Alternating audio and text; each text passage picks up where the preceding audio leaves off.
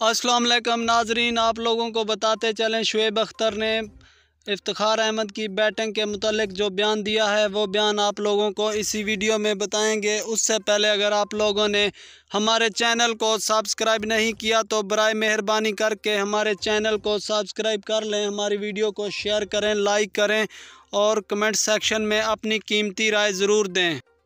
नाजरीन आपको बताते हैं शुएब अख्तर ने कहा कि इफ्तार अहमद ने बहुत अच्छी बैटिंग की है। इसी तरह सब बैट्समैनों को बैटिंग करनी चाहिए। इफ्तार अहमद मेरे फेवरेट प्लेयर हैं और मुझे लगता है आपके भी फेवरेट प्लेयर होंगे।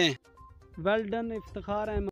इफ्तार अहमद के लिए कमेंट्स में अपनी राय ज़रूर दें।